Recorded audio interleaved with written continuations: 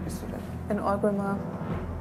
Orgrimmar ist die Hauptstadt von diesem Kontinent, das sage ich mal gleich, von Kalimdor. Und es gibt ja, ähm, ja hm, zwei Kontinente eigentlich, die östlichen Königreiche und Kalimdor. Gehört ja auch ein bisschen dazu, ne? Zu so einer Fantasy-Welt oder überhaupt äh, eine fremde Welt hat, irgendwie, in die man eintauchen soll, dass es da eine Karte dazu gibt. Ja, dass man nicht auch ein bisschen, äh, bisschen äh, sozusagen geführt wird da.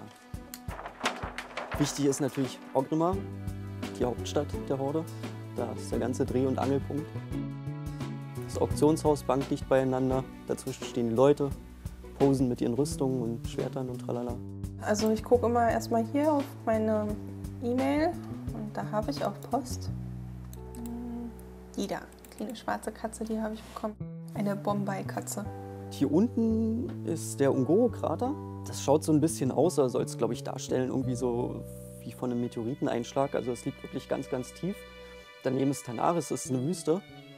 Und als ich das erste Mal halt aus der Wüste dort in diesen Ungoro-Krater kam, war ich auch ganz überrascht, da so eine Dschungelwelt vorzufinden. Also es war irgendwie so ganz komisch, so ein Bruch plötzlich. Hier vorne um äh, Loch Modern, da ist auch so ein schicker, riesengroßer Staudamm. Früher aus Langeweile haben wir mal Base-Jumping gemacht von diesem Staudamm runter. Das war eigentlich ein Kontinent und irgendwie haben da die Elfen wie immer irgendeinen Mist gebaut und die, der ganze Spaß ist in die Luft geflogen und seit da klafft da so eine Lücke dazwischen. So, auf jeden Fall ist das jetzt erstmal mein Streitross. Mein Untotes. Das Einzige, worauf ich stolz bin, ist mein Black Temple Trash Item, die Plünderstulpen.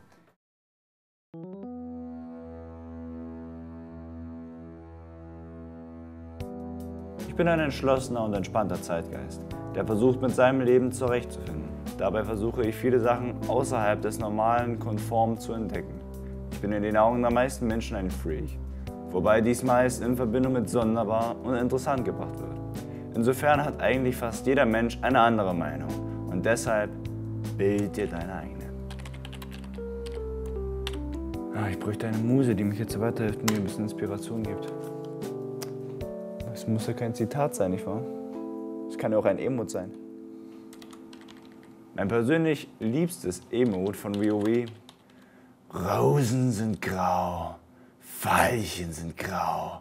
Ich bin tot und farbenblind. Genau. Bloggen ist eigentlich also für mich eher so eine, so eine Tagebuchsache, so ein bisschen, wo man dann nochmal nachlesen kann oder so. Das läuft aber gut heute, ne? Ja, das ist meine Seite. Genau, 2. Mai 2007, da habe ich das erste Mal gebloggt. Da hatte ich dann so ein bisschen angefangen zu schreiben und dann schreiben wir halt irgendwas Triviales, wenn nichts passiert ist. Schreibt man halt mal, dass man zur Abwechslung mal ein ruhiges äh, WE, äh, also Wochenende verbracht hat. Dass man einen halt gammeligen Start in die Woche hatte. Wie bist du überhaupt auf MyBuff gekommen? Ähm, das war doch früher, glaube ich, Blask. Und das war halt so die, die Info-Ressourcenseite, so, weiß ich, über Quests oder so, über äh, Monster und so weiter, Taktiken etc. Und das ist ja dann irgendwann Buff draus geworden. Irgendwann kam diese Blogseite noch und ähm, sowieso dann fast täglich mal auf der Seite reingeschaut habe, dachte ich, hey, blogst halt mal ein bisschen.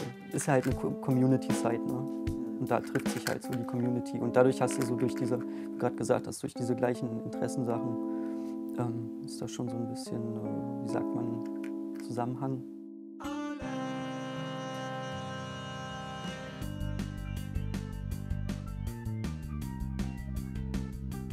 Buff.de ist das äh, größte Portal für Online-Spiele in Deutschland. Und das Magazin ist unser Pendant dazu. Musst du so vorstellen, im Spiel fragt jemand, ah, wo finde ich denn den und den Questgeber oder NPC, also Spielfigur. Ähm, ja, dann fällt meistens erstmal im Chat, geh doch auf buff.de. Wir hatten am Anfang eigentlich nur ein Forum. Dann haben wir uns überlegt, hm, die Leute kommunizieren nur im Forum, brauchen noch eine Plattform, wo sie sich halt selbst präsentieren können.